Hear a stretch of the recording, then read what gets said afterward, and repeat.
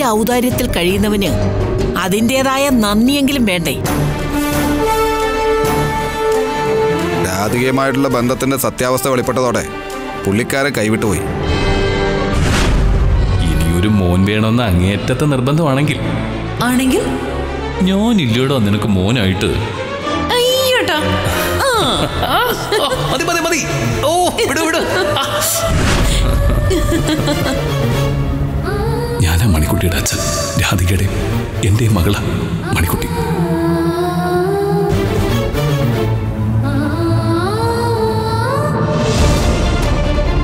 ദൈവം കൊടുത്ത ശിക്ഷയാണെന്ന് അമ്മ പറഞ്ഞില്ലേ?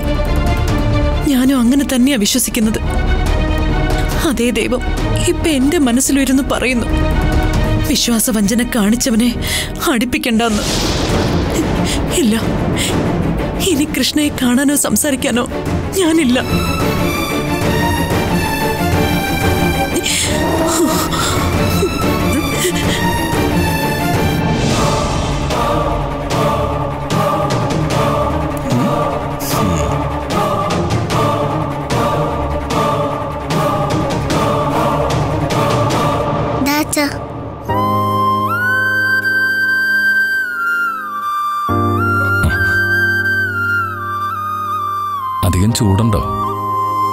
ആന്റിബയോട്ടിക് കഴിച്ച് വായൊക്കെ പൊട്ടിയിരിക്കുക കുടിക്കാൻ പാകത്തിനുള്ള ചൂടേ ഉള്ളൂ.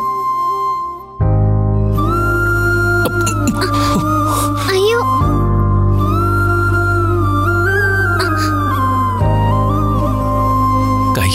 തുളുമ്പിപ്പോയി സാരമില്ല അച്ഛാ. ഞാൻ തുടച്ചു. അച്ഛന്റെ കൈ പൊള്ളിയോ? ഇല്ല.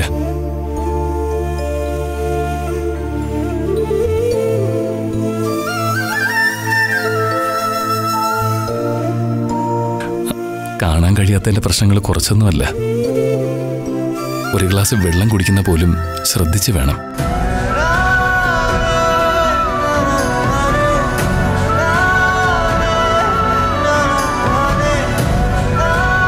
കപ്പ്. ചായ മോൾ ഉണ്ടാക്കി തന്നു. പക്ഷേ ഇനിയിപ്പോ ആഹാരത്തിന്റെ കാര്യം എങ്ങനെയാ? അതോർത്ത് വിഷമിക്കണ്ട. കഴിക്കാനുള്ളതൊക്കെ ഞാൻ ഉണ്ടാക്കാം. നീരജ ഇവിടെ നിൽപ്പുണ്ടായിരുന്നോ? എന്താ കഴിക്കാൻ വേണ്ടെന്ന് പറഞ്ഞാൽ മതി. ബുദ്ധിമുട്ടാവോ? കുറച്ച് ഫുഡ് ഉണ്ടാക്കുന്നതിന് എന്തിനാ കൃഷ്ണേട്ടാ ബുദ്ധിമുട്ട്? നീരജക്കല്ല ഇവിടെ മറ്റു പലർക്കും ബുദ്ധിമുട്ടാവില്ല എന്ന് ഞാൻ ഉദ്ദേശിച്ചത്. അതൊക്കെ ഒരു വഴിക്ക് നടക്കും. ആന്റിയെ ഹെൽപ്പ് ചെയ്യാൻ ഞാനും കൂടാ.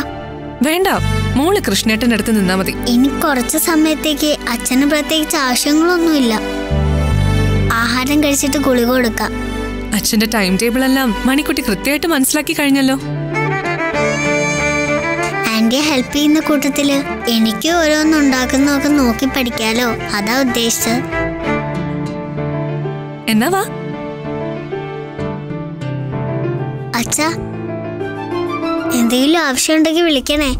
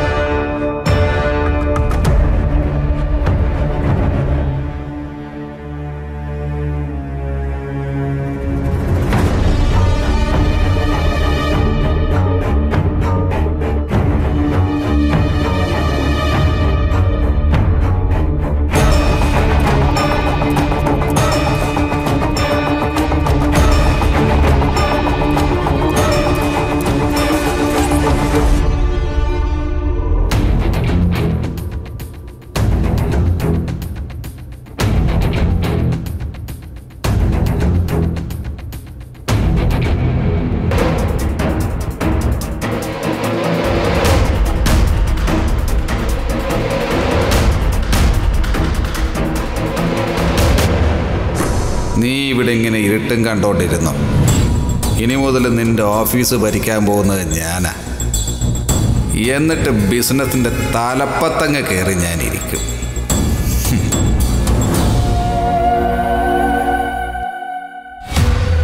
ആരാ? ആരെങ്കിലും വന്നോ ഇവിടെ?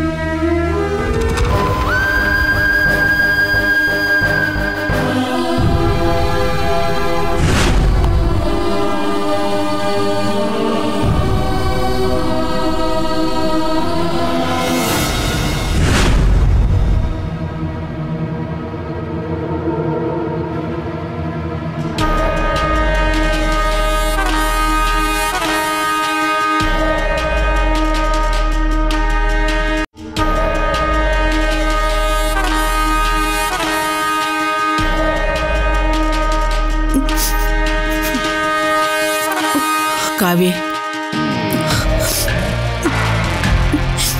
നീ എന്തിനാ എന്റെ കാവ്യ വിഷമിച്ചും കണ്ണീരൊഴുക്കി ഇവിടെ ഇങ്ങനെ ഇരിക്കുന്നേ? നേരാമണ്ണം ഒന്ന് കഴിക്കുന്ന പോലും ഇല്ലല്ലോ. ഈ അവസ്ഥയിലിരിക്കുമ്പോ എനിക്ക് എങ്ങനെ സ്വസ്ഥത കിട്ടും അമ്മേ? മറ്റെവിടെയെങ്കിലും ആയിരുന്നെങ്കിലും വേണ്ടില്ല. ഇതിപ്പോ എന്റെ കൺമുമ്പിൽ തന്നെയല്ലേ പടിയും കുത്തി. തപ്പിയും തടഞ്ഞുമൊക്കെ കാണുമ്പോ വിഷമം തന്നെയാ.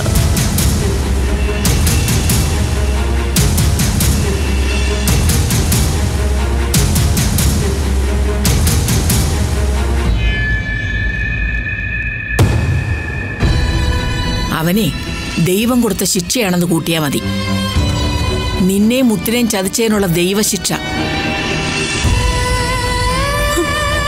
കണ്ണ് നമ്മളാരും കുത്തി പൊട്ടിച്ചല്ലോ അവ സ്വപ്നം കണ്ടിരുന്ന് കാർ ഓടിച്ചു. വണ്ടി വല്ലയിടത്തും ചെന്ന് ഇടിച്ചു കയറി. അവ സ്വപ്നം കണ്ടത് നിന്നെയല്ല. രാധികയാണെന്ന് ഓർക്കണം.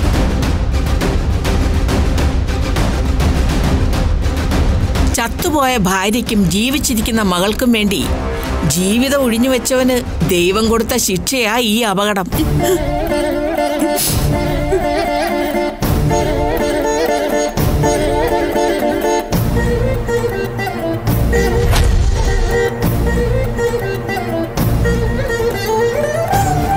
പിന്നെ ഈ കാഴ്ചയില്ലായ്മയുടെ കാര്യത്തിൽ എനിക്ക് ചില സംശയമുണ്ട്. കൃഷ്ണയ്ക്ക് കണ്ണിന് അത്ര വലിയ തകരാറൊന്നും കാണത്തില്ല. അഭിനയമാ അവൻ ആരാ മോൻ? എന്താ അമ്മ ഇത്? അങ്ങനെ അഭിനയിക്കാൻ ഡോക്ടർ സമ്മതിക്കുവോ കൃഷ്ണയ്ക്ക് കാഴ്ചശക്തി നഷ്ടപ്പെട്ടെന്ന് ഡോക്ടർ സർട്ടിഫൈ ചെയ്തതാ.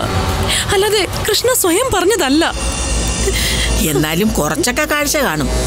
പൂർണമായിട്ടും അന്ധനൊന്നുമല്ല. പകുതി അഭിനയം അവന്റെ. നിന്റെ സ്നേഹവും സഹതാപവും പിടിച്ചു പറ്റാൻ. ഈ ബുദ്ധി ഉപദേശിച്ചു കൊടുത്തതേ മണിക്കുട്ടിയാണോന്നറിയില്ല. കെണിയിൽ നീ വീഴരുത്. ഇനി മൊത്തത്തിൽ അവൻ കണ്ണുപൊട്ടനാണെന്ന് നീ അങ്ങ് വിചാരിക്കേ. ആ കാരണത്താൽ മറക്കാൻ പറ്റുന്ന വഞ്ചനയാണോ അവൻ നിന്നോട് കാണിച്ചത്? മനുഷ്യനാവുമ്പോ സ്നേഹവും പ്രേമവും ഒക്കെ ഉണ്ടായെന്ന് വരും. പോട്ടേന്ന് വെക്കാം. പക്ഷെ ഇതങ്ങനെയാണോ? നിന്നെ കല്യാണം കഴിച്ചൊരു കുഞ്ഞു ആയതിനു ശേഷം മുൻ ഭാര്യയും കുഞ്ഞിനെ സ്വീകരിക്കുന്നത് വലിയ ചതിയാ. അമ്പലത്തിൽ വെച്ച് രാധികയെ മണിക്കുട്ടിയെ യാദൃച്ഛികമായി കണ്ടെന്നല്ലേ പറയുന്നത്? അത് മുൻകൂട്ടി തയ്യാറാക്കിയ പദ്ധതിയായിരുന്നെങ്കിലോ? നിന്റെ കണ്ണി പൊടിയിടാനുള്ള മറ്റൊരടവ്.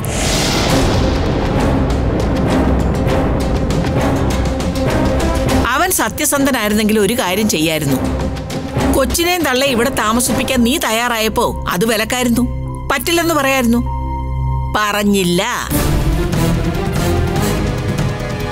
അപ്പോഴ അപ്പോഴവന് ഒരു കൂരയ്ക്ക് താഴെ രണ്ട് ഭാര്യമാരുടെ സ്നേഹം അനുഭവിക്കണമായിരുന്നു. രണ്ടുപേരെയും വേണമായിരുന്നു. അമ്മേ! കേട്ടിട്ട് സഹിക്കാൻ കഴിയുന്നില്ല അല്ലേ? സത്യമാണ്. നീ കൃഷ്ണനെ മനസ്സിൽ കൊണ്ടു കടന്നപ്പോ അവന്റെ ആധിക മനസ്സിൽ കൊണ്ടു കടന്നു. നിന്നേക്കാൾ അവളെ സ്നേഹിച്ചു. നിന്റെ മോളേക്കാൾ അവളുടെ മോളെ സ്നേഹിച്ചു. ഇപ്പോഴും സ്നേഹിക്കുന്നു. അങ്ങനെ നിന്നെയും നിന്റെ സ്നേഹത്തെയും കബളിപ്പിച്ചവനോട് സഹതാപം വേണോ? എന്റെ മോളൊന്ന് ആലോചിച്ചു നോക്ക്. എല്ലാവരുടെയും മുന്നിൽ വെച്ച് മണിക്കുട്ടി തന്റെ മകളാണെന്ന് പരസ്യമായി പ്രഖ്യാപിക്കണമെങ്കിൽ അവൻ ചില്ലറക്കാരനാണോ? ഭാഗ്യത്തിന് നമ്മൾ വീട്ടുകാർ മാത്രമേ വിവാഹ വാർഷികത്തിനുണ്ടായിരുന്നുള്ളൂ വിരുന്നുകാരെങ്കിലും ഉണ്ടായിരുന്നെങ്കിലോ? അവൻ വിരുന്നുകാരുടെ മുന്നിൽ വെച്ച് ധൈര്യമായിട്ടെല്ലാം വിളിച്ചു പറയുമായിരുന്നു. പിന്നെ എങ്ങനെ തലയുയർത്തി നടക്കുമെന്ന്?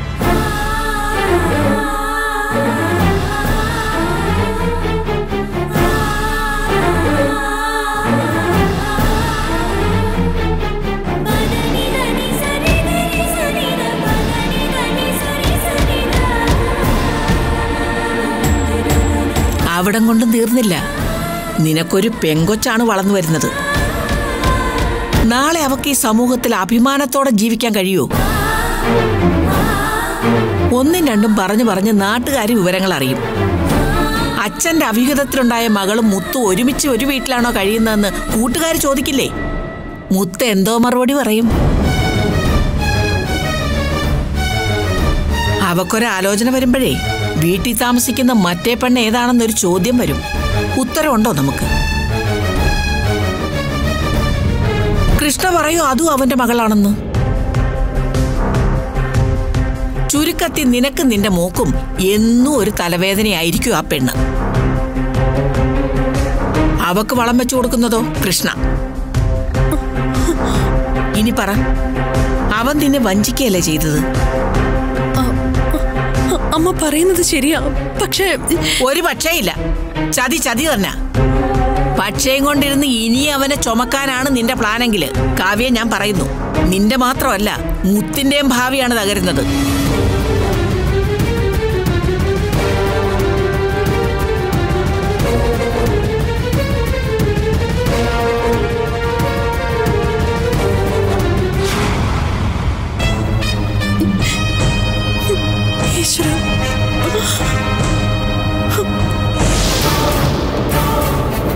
നീ കാരണം മോളുടെ ഭാവി തകരാറിലാവണോ?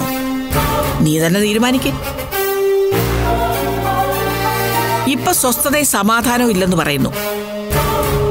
കൃഷ്ണയും മണിക്കുട്ടിയും നിന്റെ ജീവിതത്തിൽ ഉള്ളിടത്തോളം കാലം നിനക്ക് സമാധാനം കിട്ടില്ല. മുത്തിന് തിരിച്ചറിവായി വരുന്നതേ ഉള്ളൂ. എങ്കിലും അവക്ക് കാര്യങ്ങളൊക്കെ മനസ്സിലാവുന്നുണ്ട്. ദേ അവൾ നിന്റെ മുഖത്ത് നോക്കി ചോദിക്കാൻ ഇടയാവരുത്. ചതിയനായ ഈ അച്ഛനെ അമ്മ എന്തിനാണ് ഇത്രയും നാൾ സഹിച്ചതെന്ന്? ആ ഒരൊറ്റ കാരണം കൊണ്ട് മുത്തു നിന്നെ വെറുക്കാനും മതി. അമ്മേ സംഭവിക്കാൻ പോകുന്ന കാര്യമാണ് ഞാൻ ഈ പറഞ്ഞത്. വേണ്ട.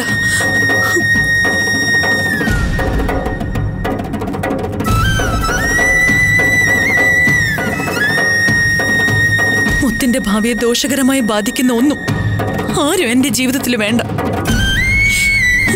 എനിക്ക് എന്റെ മോൾ മാത്രം മതി. വേറെ ആരും വേണ്ട.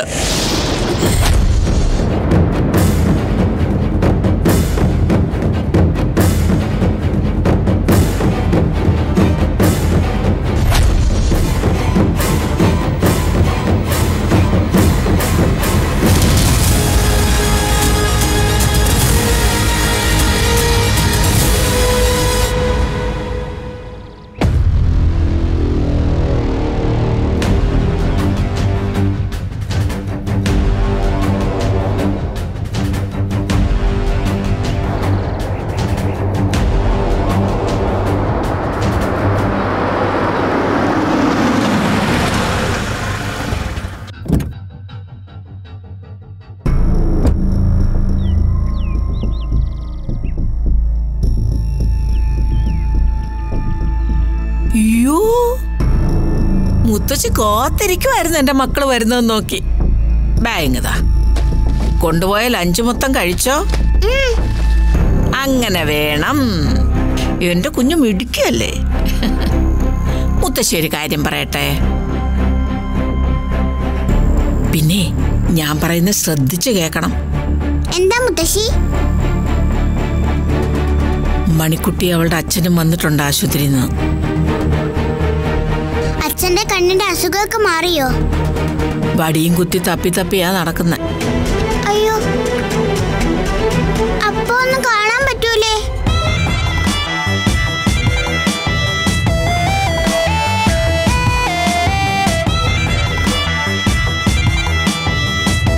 വലിയ കഷ്ടമാണല്ലോ.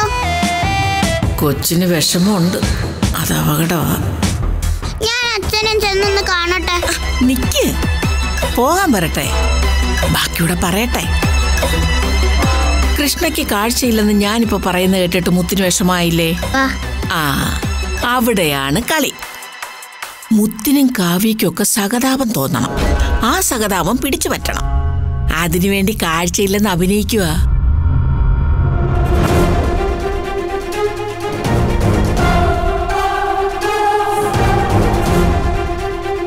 ആക്ടിംഗ് ആണെന്നേ. അച്ഛൻ ഇങ്ങനെ അഭിനയിക്കുന്നേ? മണിക്കുട്ടിയെ കൂടെ നിന്ന് വിടാതിരിക്കാൻ.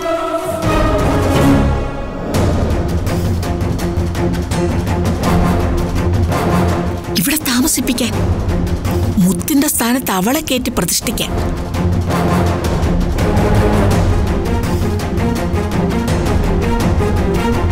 കുറെ സമയമായി കൃഷ്ണ വന്നിട്ട്. ഇതുവരെയായിട്ട് മുത്തെന്തിയെന്നൊരു ചോദ്യം. ഏഹെ അവൻ ചോദിച്ചിട്ടില്ല. ഇതാണ് ഒരച്ഛന്റെ സ്നേഹം?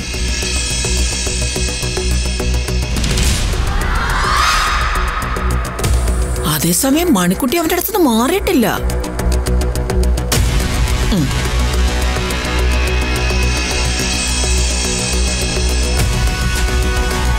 കൃഷ്ണയാണെങ്കിൽ എന്തിനും ഏതിനും മണിക്കുട്ടി മോളെ എന്ന് വിളിച്ചോണ്ടിരിക്കും.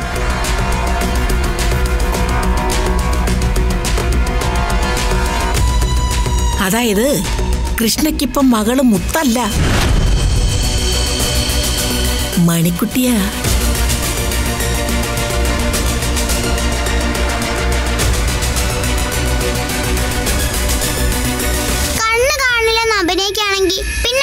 മണിക്കുട്ടിയുടെ സഹായം? അല്ല അതാണല്ലോ അഭിനയം. രണ്ടുപേരും ചേർന്നുള്ള നാടകം കളി.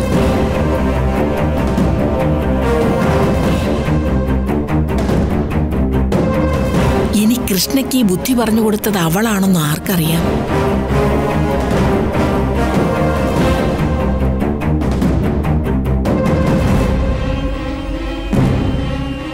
അതിനൊക്കെയുള്ള ബുദ്ധി അവക്കുണ്ട്. പോരാത്തൊരു കള്ളിയാണെന്നേ. അല്ലെങ്കിൽ ഒന്ന് ആലോചിച്ച് നോക്കേ ഇത്രയും നാൾ നിന്റെ കൂടെ കളിച്ചും ചിരിച്ചും ഒരു മുറിയിൽ ഉറങ്ങിക്കഴിഞ്ഞ പെണ്ണാണോ? വലിയ കൂട്ടുകാരായിരുന്നോ? എന്നിട്ട് ഇതുവരെ മോളോട് പറഞ്ഞിട്ടുണ്ടോ കൃഷ്ണയാണ് അവളുടെ അച്ഛനെന്ന്? പറയില്ല. എന്താ കാര്യം? മുത്തിന്റെ സ്ഥാനത്ത് അവക്ക് കയറി പറ്റണം. ഈ പാലക്കൽ വീട് ശരിക്കും ആരുടേതാണെന്ന് മോക്കറിയൂ? അമ്മയുടെ വീട്. മുത്തശ്ശൻ അമ്മയ്ക്ക് കൊടുത്ത വീട്. അതായത് കാവ്യയുടെ മകളായ മുത്തിന് അവകാശപ്പെട്ട വീട്. അങ്ങനെയുള്ള പാലക്കൽ വീട്ടിൽ മണിക്കുട്ടിക്ക് ഒരവകാശവും ഇല്ല. അവളുടെ അമ്മയ്ക്കോ അച്ഛനോ നമ്മുടെ വീടുമായിട്ട് യാതൊരു രക്തബന്ധവും ഇല്ല. ദേ എന്നിട്ട് മണിക്കുട്ടിക്ക് ഈ വീട്ടിൽ താമസിക്കണം. കൃഷ്ണയ്ക്ക് അവളെ ഇവിടെ താമസിപ്പിക്കണം. കണ്ണ് കാണുന്നില്ലെന്നുള്ള അഭിനയമൊക്കെ അതിന്റെ ഭാഗമാണ്. ഇപ്പൊ മുത്തിനെന്ത് തോന്നുന്നു?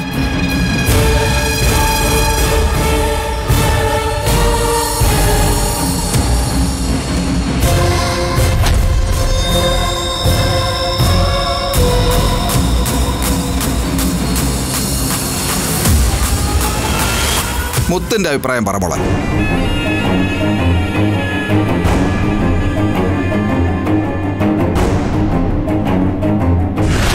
അച്ഛന് ശരിയല്ല മണിക്കുട്ടി ശരിയല്ല.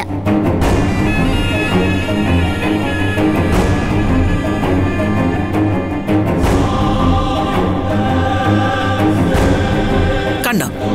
എന്റെ കുഞ്ഞിന് കാര്യത്തിന്റെ കിടപ്പ് പിടികിട്ടി. അതുകൊണ്ട് മാത്രമായില്ല രണ്ടെണ്ണത്തിന് പുകച്ച് പുറത്താക്കിയില്ലെങ്കിൽ അവർ നാളെ മുത്തിനെ പുറത്താക്കും. അതൊന്നും നടക്കില്ല മാമ. പുറത്താക്കാൻ ഇങ്ങ് വരട്ടെ. മുത്ത് ആരാണെന്ന് കാണിച്ചു കൊടുക്കുന്നുണ്ട് ഞാൻ.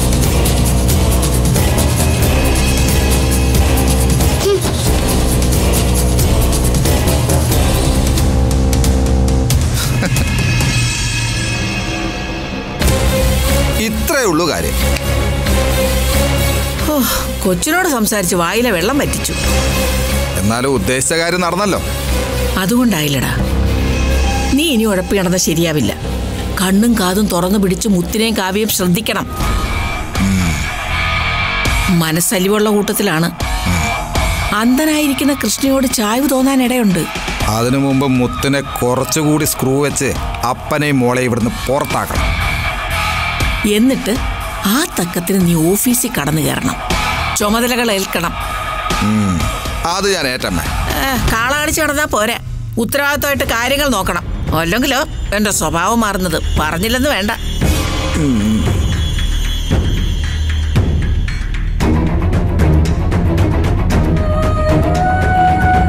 കൃഷ്ണയെ തട്ടിക്കളയാവുന്ന വിചാരിച്ച് നടന്നില്ല.